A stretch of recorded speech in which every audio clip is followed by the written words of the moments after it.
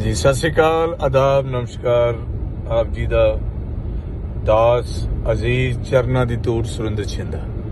ਸੋ ਅੱਜ ਬੜੀ ਖੁਸ਼ੀ ਦੀ ਗੱਲ ਹੈ ਕਿ ਅਸੀਂ ਇੱਕ ਬਹੁਤ ਸੋਹਣਾ ਸਫ਼ਰ ਤੈਅ ਕਰ ਰਹੇ ਹਾਂ।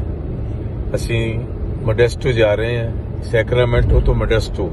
ਔਰ ਉਸ ਸਫ਼ਰ ਦੇ ਦੌਰਾਨ ਮੇਰੇ ਨਾਲ ਵਿਸ਼ਵ ਪ੍ਰਸਿੱਧ ਕੀਰਤਨੀਏ, ਸਤਿਕਾਰਯੋਗ ਭਾਈ ਸਾਹਿਬ, ਭਾਈ ਮਨਜੀਤ ਸਿੰਘ ਜੀ ਤੇ ਉਹਨਾਂ ਦੇ ਛੋਟੇ ਬ੍ਰਦਰ ਉਹਨਾਂ ਦੇ ਵੀਰ, ਭਾਈ ਸਾਹਿਬ, ਭਾਈ ਅਮਰਜੀਤ ਸਿੰਘ ਜੀ, ਤੇ ਅਸੀਂ ਸਾਰੇ ਸਾਹਿਬੇ ਕਮਾਲ, ਸਤਿ ਸ੍ਰੀ ਅਕਾਲ ਜੋ ਪਿਛਲੇ ਦਿਨਾਂ ਚ ਧੁੰਮਾਂ ਪਾਈਆਂ ਇਸ ਗੀਤ ਨੇ, ਜਿਸ ਨੂੰ ਡੀਐਸਪੀ ਧਰਮਪਾਲ ਜੀ ਨੇ ਲਿਖਿਆ ਸੋ 뮤직 ਦਵਿੰਦਰ ਕੈਂਤ ਆਵਾਜ਼ ਦਾਸ ਦੀ ਤੋ ਲਓ ਆਨੰਦ ਮਾਣੋ।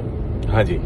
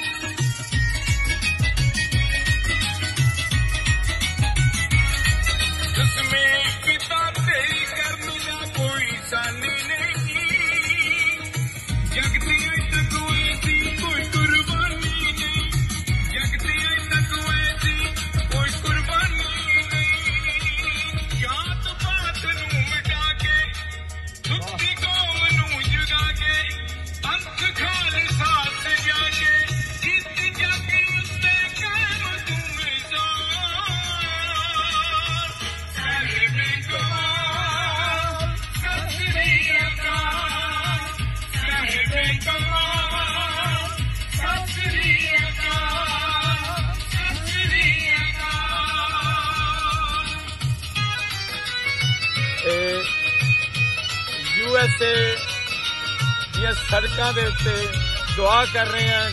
ਕੁੱਲ ਦੁਨੀਆ ਦੇ ਭਲੇ ਵਾਸਤੇ ਅਰਦਾਸਾਂ ਕਰ ਰਹੇ ਹਾਂ।